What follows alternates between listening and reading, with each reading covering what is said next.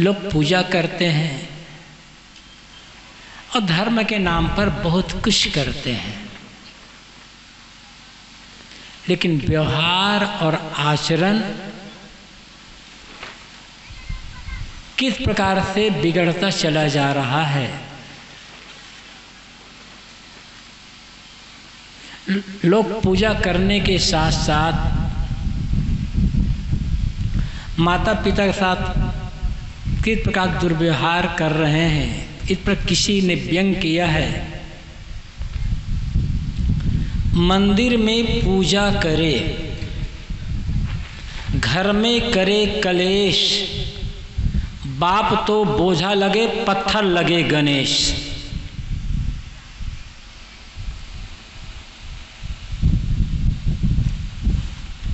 पत्थर के पुजारियों को चाहे वो किसी की मूर्ति पूजा करने वाले चाहे कबीर की ही क्यों ना पूजा करते हैं?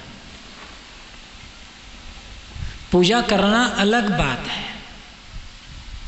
किसी महापुरुष की मूर्ति बनाई जाती है, उस मूर्ति को देखने से उस महापुरुष की याद आती है।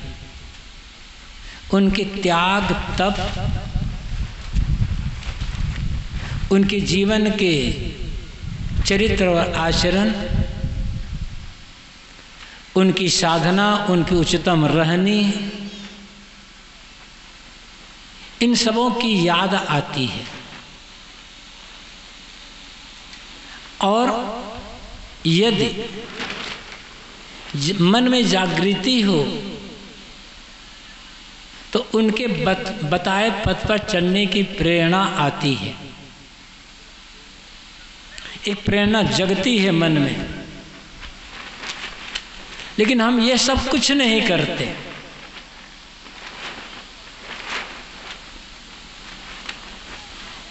केवल पूजा करते हैं।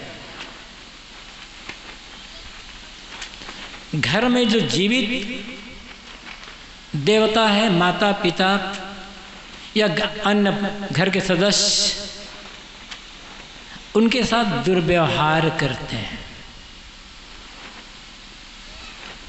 तो पूजा सार्थक कैसे होगी?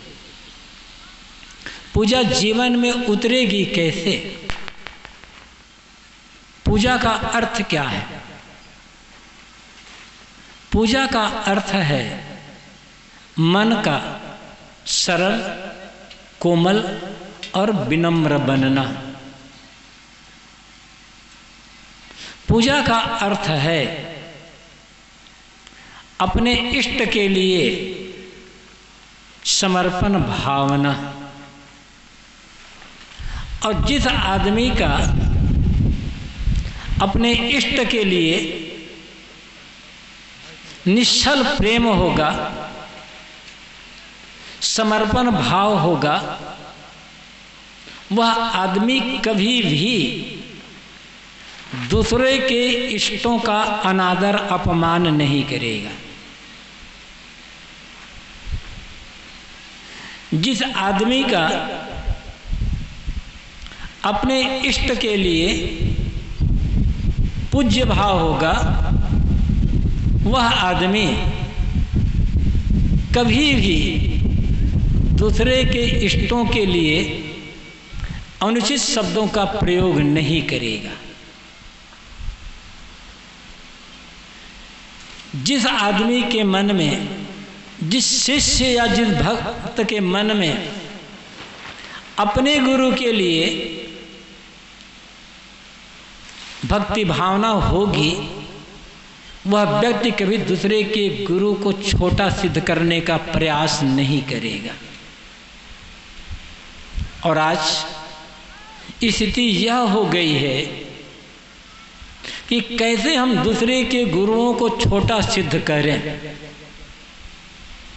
कैसे हम दूसरे के जो इष्ट हैं, उपास्य हैं, उनका ज़्यादा से ज़्यादा अनादर, अपमान, तिरस्कार करें? उनके लिए अनुचित शब्दों का प्रयोग करें। और ऐसा करने वाले लोग न तो अपने गुरु को समझ पाते हैं न अपने इष्ट को समझ पाते हैं और न ही उनके मन में कोई भक्ति भावना है, न ही धर्म के संस्कार है। ज़मीन के लिए लड़ाई होती है, जायदाद के लिए लड़ाई होती है, रुपये, पैसे, खेत खलिहान के लिए लड़ाई होती है, पद प्रतिष्ठा के लिए लड़ाई होती है। तो बात समझ में आती है। धर्म और भगवान के लिए लड़ाई। यदि धर्म के नाम पर लड़ाई हो रही है तो अधर्म के नाम पर क्या होगा?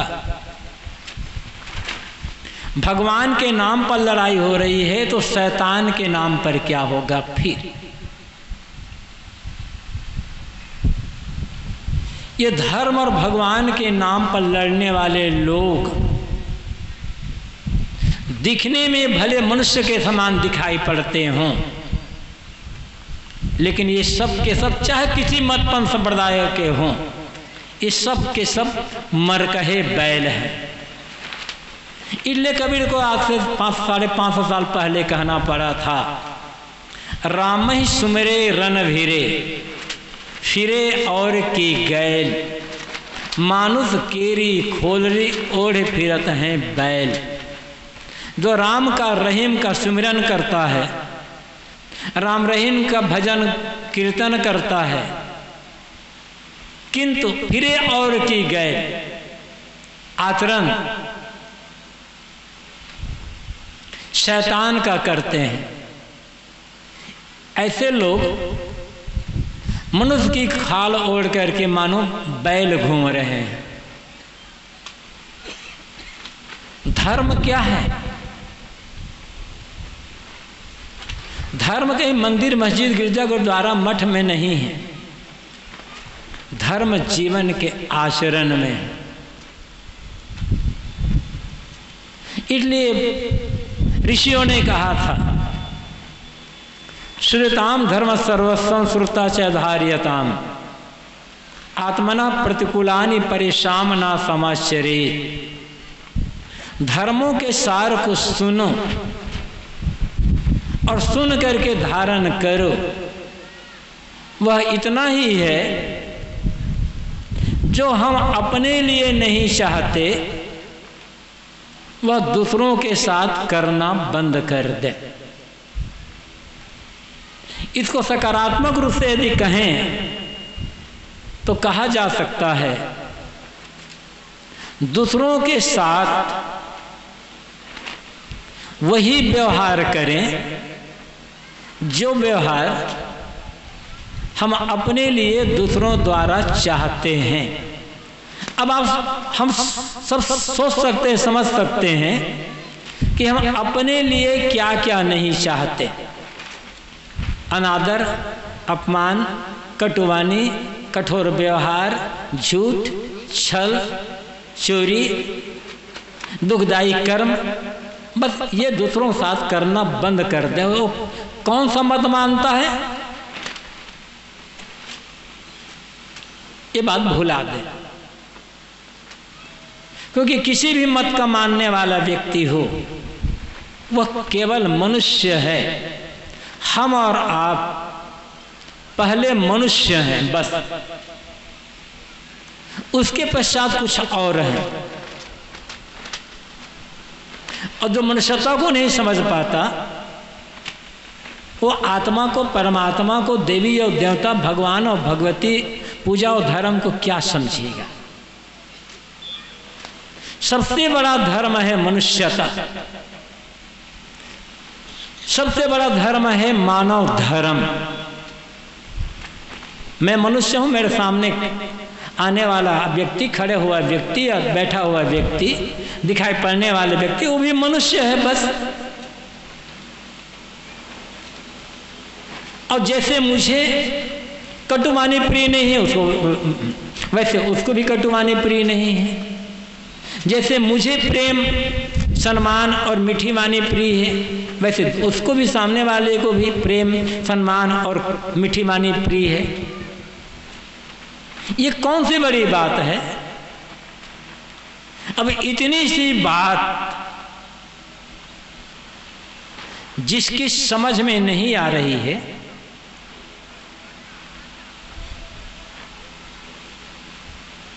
उनको मनुष्य कैसे कहा जाए? उनको धार्मिक भी कैसे वो मनुष्य ही नहीं बन पाए हैं तो धार्मिक क्या हो पाएँगे वो लोग?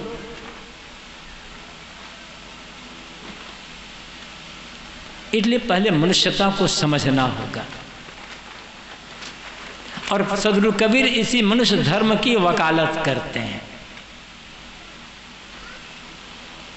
जाति, वर्ण, मत, मज़हब, संप्रदाय ये हमारे और आपके बनाए हुए हैं, मनुष्यों के बनाए हैं।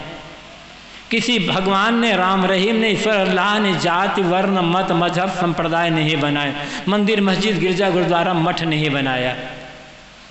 जिन बातों को लेकर के आज विभिन्न मतों के अनुयायी आपस में लड़ रहे हैं, ये सब के सब न तो कुदरत ने बनाया, न प्रकृति ने बनाया, न किसी ईश्वर अल्लाह ने बनाया। इन सबको मनुष्यों ने ही बनाया है। चाहे कुदरत कह लो आप, चाहे प्रकृति कह लो। अब कोई उसको भगवान कहता है, ईश्वर अल्लाह कहता है, उसकी मर्ज़ी। उसने आदमी बनाया बस। और आदमियत छोटी हो गई लोग मानते हैं मान्यता लोगों की है कि कहीं ईश्वर है, अल्लाह है। और उसी ने हम लोगों को पैदा किया है। दुर्भाग्य यह है, जिसे वो सर्वोपरि मानते हैं, ईश्वर अल्लाह सर्वशक्तिमान मानते हैं। उसका बनाया इंसान छोटा हो गया और इंसान का बनाया मंदिर, मस्जिद, मठ, गुरुद्वारा बड़े हो गए। लगता है कि आज आदमी अपने भगवान की अकल को दुरुस्त करने में लग गया है। उनके भगवानों को, उनके ईश्वर अल्लाह को अकल नहीं आई थी। वे समझ नहीं पाए थे। और आज उनके भगत लोग अपने अपने भगवान ईश्वर परमात्मा खुदा गाड़ के अकल को ठीक कर रहे हैं। अपनी अकल ठीक कर ले, फिर किसी और की अकल को ठीक करने की आवश्यकता नहीं होगी। इसलिए मनुष्यता को समझना होगा। सुख से कैसे जिए, ये समझना होगा। मरने के बाद कौन स्वर्ग जाएगा, कौन नरक जाएगा, किसकी मुक्ति होगी, किसका बंधन होगा? ये सारी बातें बेकार की बातें हैं। जीते जी, हम स्वर्ग का अनुभव कैसे करें? जीते जी, हम मुक्ति का अनुभव कैसे करें? ये सोचना होगा। वैसे, हमारे भारत में जितने भी लोग मरते हैं, चाहे कोई भी मरता हो, चाहे एक सज्जन की मृत्यु होती हो, एक संत की मृत्यु होती हो, एक धार्मिक की मृत्यु होती हो, एक दुर्जन की मृत्यु होती हो, एक हत्यारा और कसाई की मृत्यु होती हो सबका स्वर्गवास ही होता है। नरकवास आज तक कभी किसी का हुआ नहीं। अब इधर इस क्षेत्र में किसी की नरकवास होता हो तो मुझे मालूम नहीं है। लेकिन जहाँ तक मैं घुमा हूँ, वहाँ तक मैं सोचता हूँ कि अमुक आदमी का स्वर्गवास हो गया। हत्यारा है तो भी स्वर्गवास कसाई है तो भी स्वर्गवास। ये स्वर्गवास की टाइटिल है बस। मरने के बाद आपके नाम में अपने आप स्वर्गवासी की टाइटिल लग जाएगी, भले नरक में दुख भोगते लेकिन तो आपके घर वाले यही कहेंगे कि स्वर्गीय या स्वर्गवासी। ये टाइटिल का स्वर्ग काम नहीं आएगा। ज़िंदगी का स्वर्ग काम आएगा। जीते जी स्वर्ग किसी से पूछो कि आप स्वर्ग जाना चाहते हैं? कौन आदमी नहीं कहेगा कि जाना चाहता हूँ? हर आदमी स्वर्ग जाना चाहता है। उसे कहा जाए कि चलो मेरे साथ स्वर्ग। तो कहेगा, क्या अभी मार डालोगे क्या? अभी तुम्हें ज़िंदा हूँ। ज़िंदा रहते स्वर्ग नहीं जाना चाहता आदमी। मरने के बाद धोखा। इसलिए सदुर कबीर ने कहा है, संतों, जीवत ही करो आशा। मुए मुक्ति गुरु कहें, स्वार्थी झूठा दे विश्वासा। ऐसे संतों, जीते जी आशा करो। मरने के बाद स्वर्ग मिलेगा, मरने के बाद मुक्ति मिलेगी, ऐसा कहने वाले झूठे गुरु हैं। और झूठे गुरुओं के चक्कर में दुनिया का अधिकतम लोग पड़े हुए हैं। जीते जी स्वर्ग। लेकिन जीते जी स्वर्ग जाने के लिए मरना पड़ेगा। वो मरना क्या है? शरीर का मरना नहीं, अंदर के अहंकार का मरना। अंदर के जो स्वार्थ है, इस स्वार्थ का मरना। अंदर के जो राग द्वेष है, इस राग द्वेष का मरना। स्वार्थ मर गया मतलब स्वार्थ पर संयम हो गया। मरने का मतलब क्या है? संयम। अहंकार पर संयम हो गया, राग द्वेष पर संयम हो गया। आज मुक्ति हो गई। मुक्ति कोई अजूबी चीज़ नहीं है। जिसके मन में किसी के लिए राग नहीं है, द्वेष नहीं है, जिसके मन में स्वार्थ नहीं है, अहंकार कामना नहीं है जीते जी वो स्वर्ग, वो मुक्त है जीते जी स्वर्ग में निवास कर रहा है। जीते जी मानो से परमात्मा दर्शन हो रहे हैं। कहा जाता है एक जिज्ञासु साधक। भगवान के दर्शन पाने के लिए संतों के पास जाता था, भटक रहा था दर दर। जिस संत के पास जाता था, उसे ये कहता था कि मैं भगवान के दर्शन करना चाहता हूँ, भगवान को देखना चाहता हूँ। क्या करूँ? आप मुझे भगवान के दर्शन का उपाय बताएँ। संत कहते अभी तक हमने भगवान के दर्शन नहीं पाए हैं तो तुम्हें दर्शन कैसे करवा दें? भटकता भटकता जिज्ञासु, साधक, एक संत के पास पहुँचे। संत ने कहा, क्या सचमुच में तुम भगवान को देखना चाहते हो, भगवान के दर्शन करना चाहते हो? क्या हाँ इसलिए तो भटक रहा हूँ। तो संत ने कहा मैं तुम्हें भगवान के दर्शन करवा सकता हूँ। लेकिन भगवान के दर्शन करने के लिए तुम्हें तीसरा नेत्र खोलना पड़ेगा।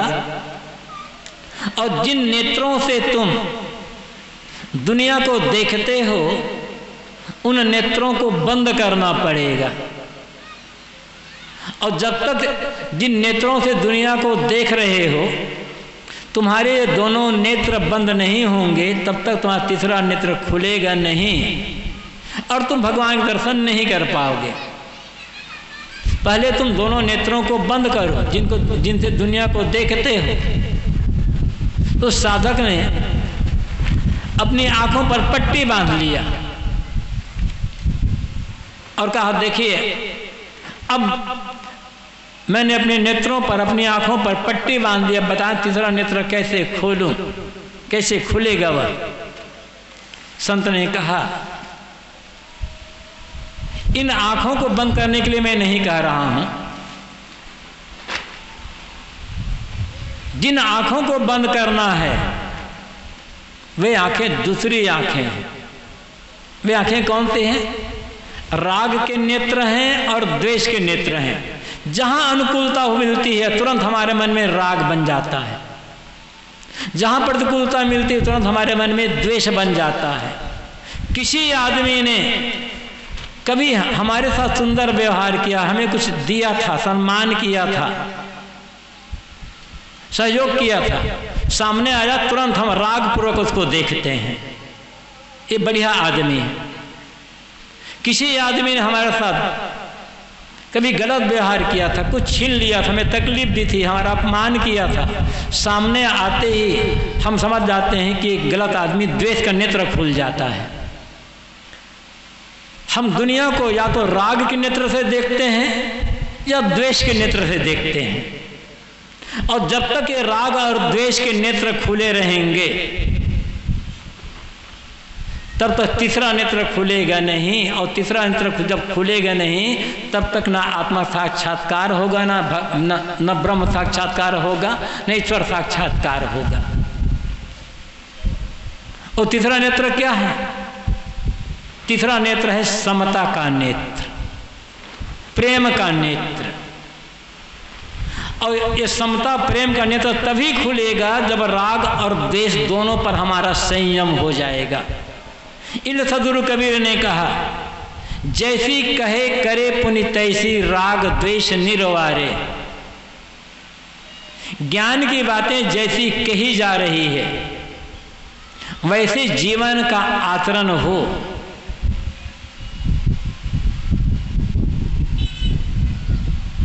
कथनी और करनी में एक रूपता हो, सामंजस्य हो। आज हमारी कथनी बहुत आगे बढ़ गई है। और करनी के नाम पर हम शून्य होते चले जा रहे हैं। कथनी कथनी मीठी खारसी करने विष की लोए ये कबीर साहब कहते हैं। कथनी ऐसी है मतलब मीठ खान के समान मीठी और करने विष की लता के समान है। एक रूपता ही नहीं है। ज्ञान की बातें जान लेना, ज्ञान की बातों को रट लेना, ज्ञान की बातों का प्रवचन कर लेना, दोहरा लेना, ये ज्ञान नहीं है। जबानी सौदा है।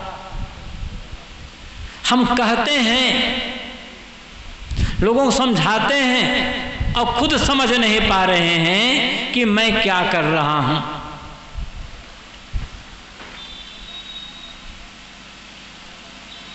साहब ने बीजक में एक पद कहा है, पंडित बाद बदे सो झूठा। राम के कहे जगत गति पावे खार कहे मुख मीठा। ये बात कर पंडितों के लिए नहीं है। पुरोहितों के लिए नहीं है। ज्ञान की कथा कहने वाले सभी के लिए हो, चाहे पंडित हो, चाहे मुल्ला हो, चाहे मौलवी हो, चाहे पादरी हो, चाहे साधु हो, चाहे महात्मा हो, चाहे गुरु हो, चाहे महंत हो। ये जितने भी ज्ञान की कथा करने वाले हैं, सबके लिए ये बात है।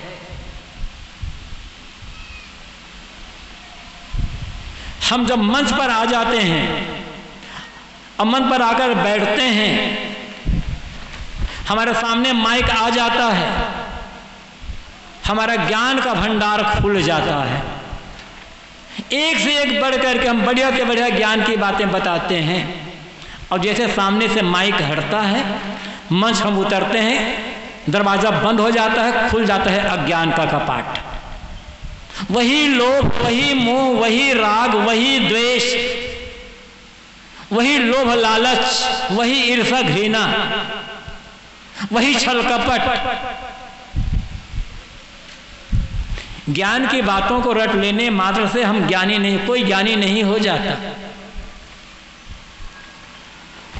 और जो कहानी है, केवल हम रट रहे हैं, दोहरा रहे हैं, समझ नहीं पा रहे हैं। कहानी सब जानते हैं, दोहरा देता हूँ मैं। एक बहलिया, जंगल जाता था। तोतों को फंसा सुग्गों को फंसाता था।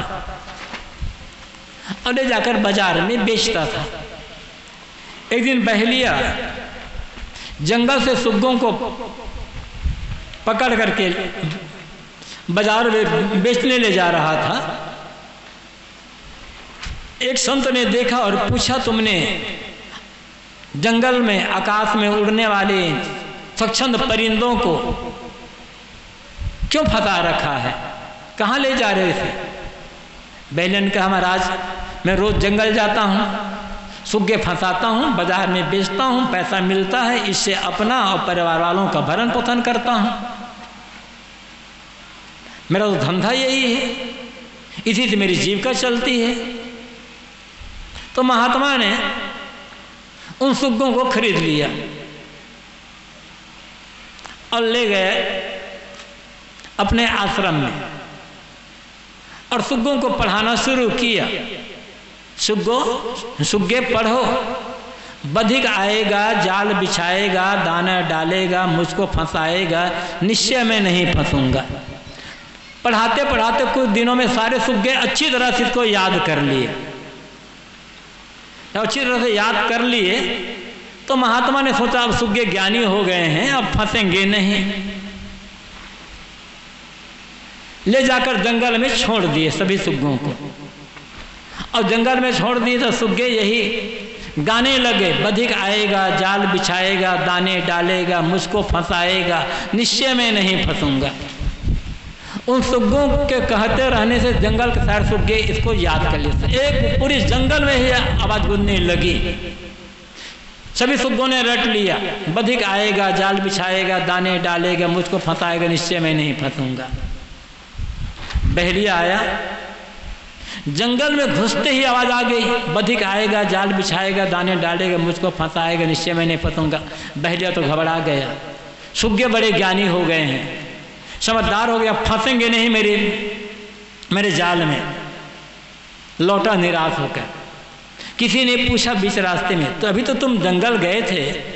तुरंत कैसे लौट गए। सारी बातें बताए उसने। कहा, तुमने जाल बिछाया या नहीं बिछाया? कि जाल तो नहीं बिछाया। अरे, जाके बिछा कर तो देख जरा। बहलिया गया, जाल बिछाया, दाने डाला एक किनारे, पेड़ के नीचे बैठ गया। सुग्गों ने देखा, दाने पड़े हुए हैं। उड़ उड़ करके सुग्गे जाल पर आते गए गए और बैठते चले गए। बहलिया ने जाल खींचा। अनेक सुग्गे फंस गए। और फंसने के बाद गा रहा है फंसने के बाद सुग्गे गा रहे हैं। बधिक आएगा, जाल बिछाएगा, दाने डालेगा, मुझको फंसाएगा, निश्चय में नहीं फंसूँगा। फंसे हुए गा रहे हैं, निश्चय में नहीं फंसूँगा। बहलिया ले गया जंगल, बेचने के लिए। वहाँ भी सुग्गे गा रहे हैं। बधिक आएगा, जाल बिछाएगा, दाने डालेगा, मुझको फंसाएगा, निश्चय में नहीं फंसूँगा। ये कहानी है। पता नहीं सुग्गे फंसे न पते, वो सुग्गे हम ही लोग हैं जो यहाँ बैठे हुए हैं। और कोई दूसरा नहीं है। ज्ञान की बातें बहुत हाँकते हैं। न लोभ, न लालच न मोह, न माया, न राग, न द्वेष, कुछ तो नहीं छूटा है। ये मन का जो जाल है, माया का जो जाल है, क्या निकल पा रहे हैं इससे? राग द्वेष का जो जाल का निकल पा रहे हैं इससे? ज्ञानी होने का जो अहंकार है अज्ञानी, अज्ञान की अपेक्षा ज़्यादा खतरनाक होता है। अज्ञानी आदमी को आप ना समझ आदमी को समझाकर सही रास्ते पर ला सकते हो, लेकिन जिसे अहंकार मैं ज्ञानी हूँ, बहुत समझदार हूँ, उसे ब्रह्मा भी समझा नहीं सकेगा। यही तो दुख का कारण है। मैं ये कह रहा था कि तीसरा नेत्र समता का नेत्र, प्रेम का नेत्र। न किसी से राग, न किसी से देश, ना काहू से दोस्ती, न काहू से बैर। तटस्थता, उदासीनता, इसका मतलब लापरवाही नहीं है। जो अनुकूल व्यवहार कर रहा है, उसे भी धन्यवाद। जो प्रतिकूल व्यवहार कर रहा है, उसे भी धन्यवाद। उसके लिए भी कल्याण कामना। अनुकूल व्यवहार करने वालों के लिए कल्याण कामना, प्रतिकूल व्यवहार करने वालों के लिए कल्याण कामना। किसी के लिए भी मन में न राग हो, न द्वेष हो जीते जी स्वर्ग का अनुभव हो जाएगा। यही तो प्रेम है। प्रेम जहाँ होगा, वहाँ राग नहीं होगा, वहाँ द्वेष नहीं होगा।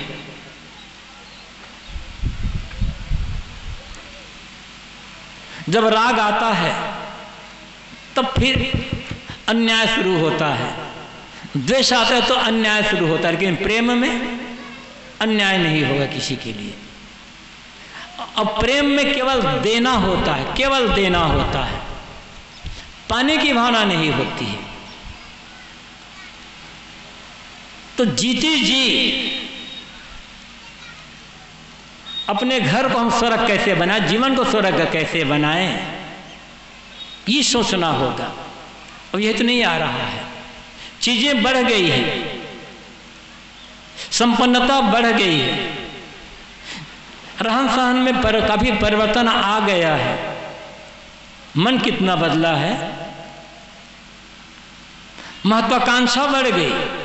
अहंकार बढ़ गया। लोभ लालच बढ़ गया। सहनशीलता घट गई। असहनशीलता बढ़ गई।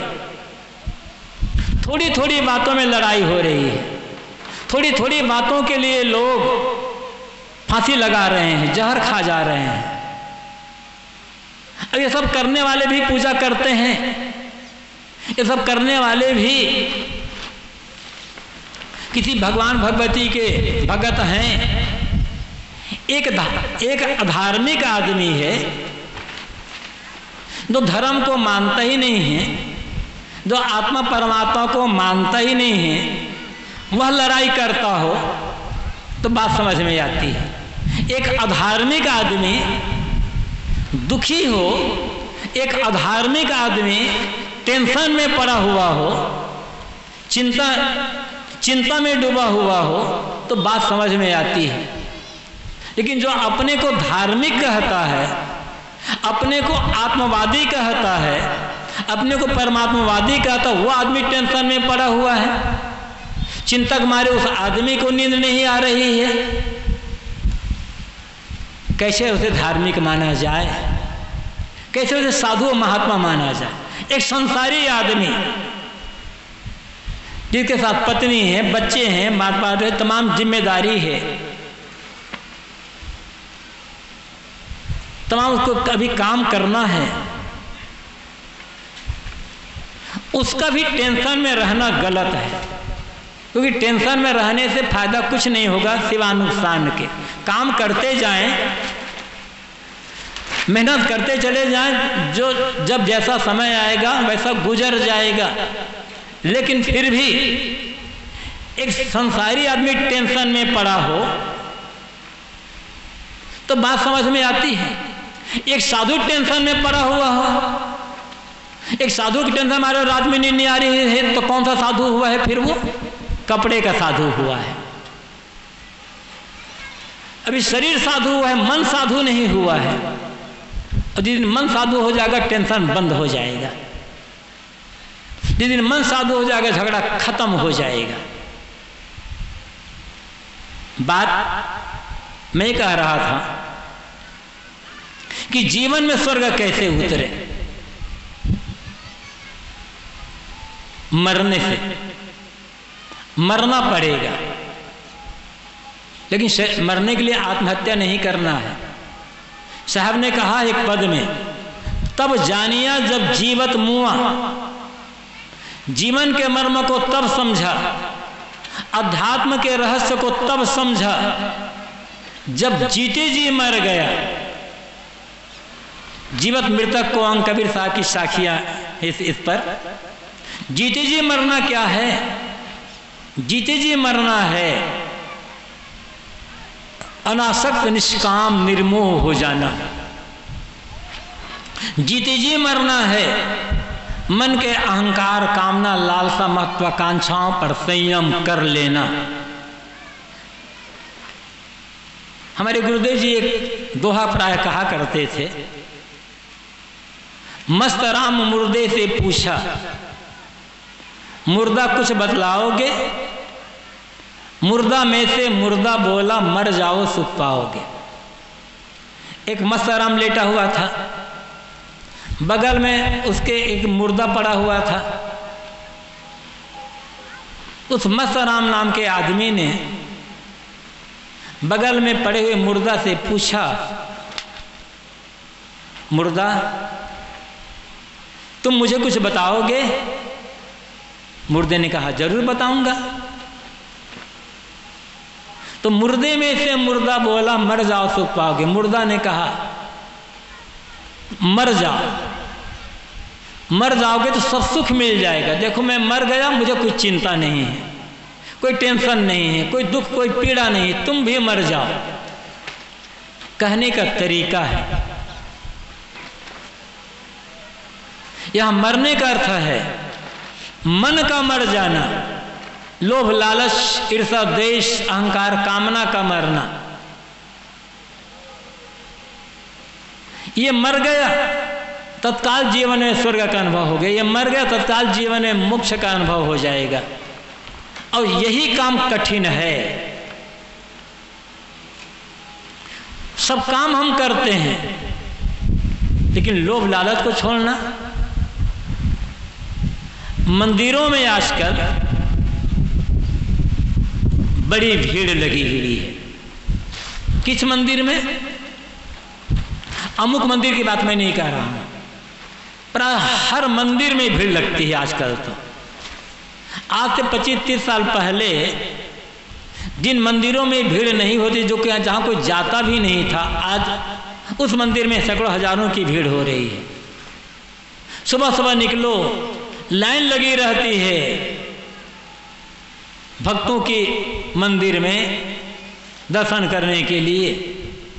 और उन लोगों को देखकर लगता है कि आज के लोग बड़े धार्मिक हो गए हैं। हाथ में दोना में प्रसाद है, फूल है, अगरबत्ती है, और घंटों खड़े हुए हैं।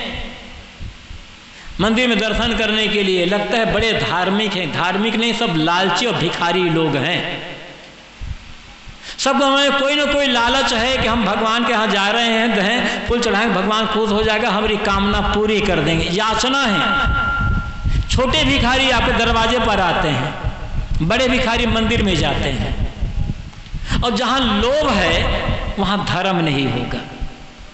जहाँ लोभ है, वहाँ स्वर्ग का अनुभव नहीं होगा। जहाँ लोभ है, वहाँ प्रेम नहीं होगा। जहाँ लोभ है, वहाँ त्याग नहीं होगा। और जहाँ धर्म ही नहीं है, प्रेम ही नहीं है, त्याग ही नहीं है, वहाँ स्वर्ग मिलेगा कैसे? स्वर्ग का अनुभव कैसे होगा? मंदिर जाए आप। जाते हैं अच्छी भावना। लेकिन लोभ ले रहे कुछ मांगने के लिए मत जाओ। एक सज्जन मिले। बुज़ुर्ग थे। सत्तर पचहत्तर साल की उम्र हो गई रही होगी। बुज़ुर्ग सज्जन ने कहा, महाराज,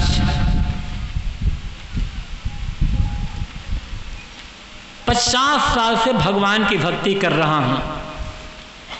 पचास साल से मंदिर जा रहा हूँ और पूजा कर रहा हूँ। नाम भी जपता रहता हूँ भगवान का।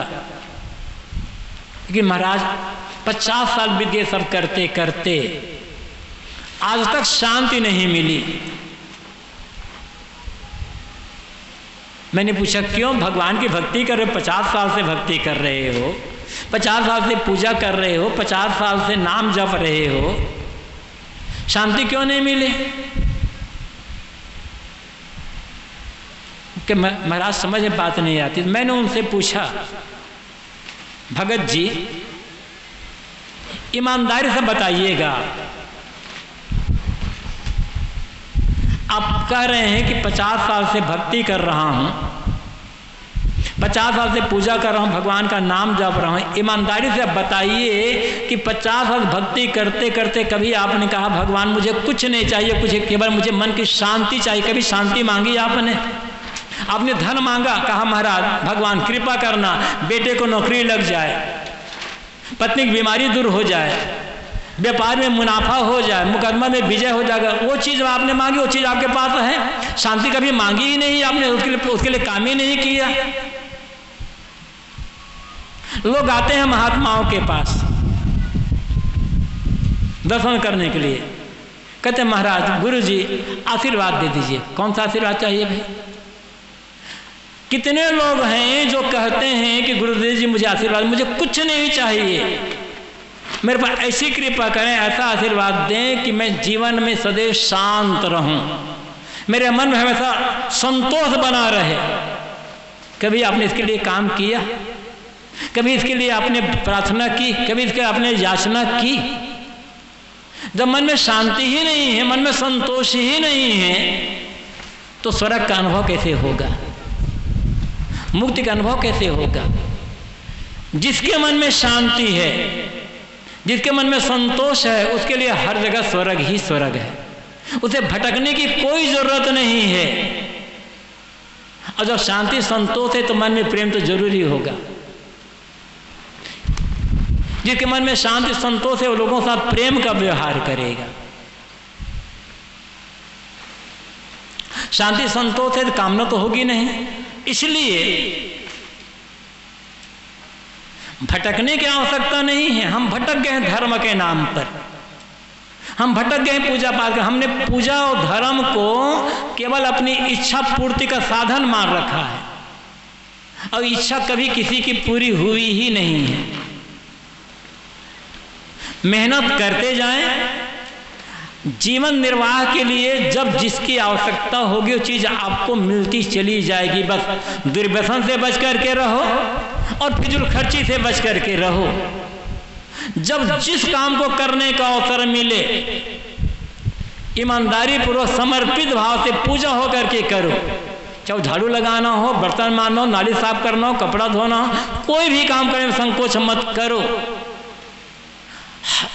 जो भी काम करना पड़े प्रसन्नता से करो।